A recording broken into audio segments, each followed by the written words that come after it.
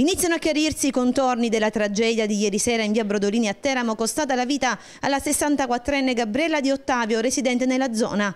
La Polizia di Stato ha posto sotto sequestro un autobus privato da 19 posti, guidato da un 38enne, ora denunciato per omicidio stradale.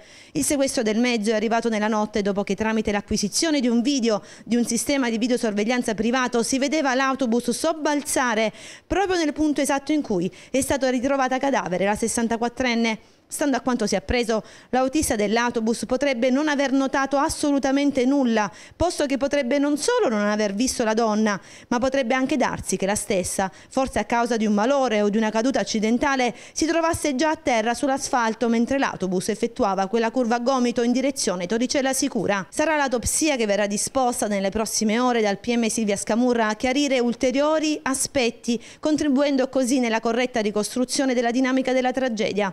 A segnalare la presenza del cadavere ieri sera sulla curva Gomito davanti alla piazzola dove rigira solitamente la linea 5 del servizio urbano sono stati due automobilisti dopo le 18.30.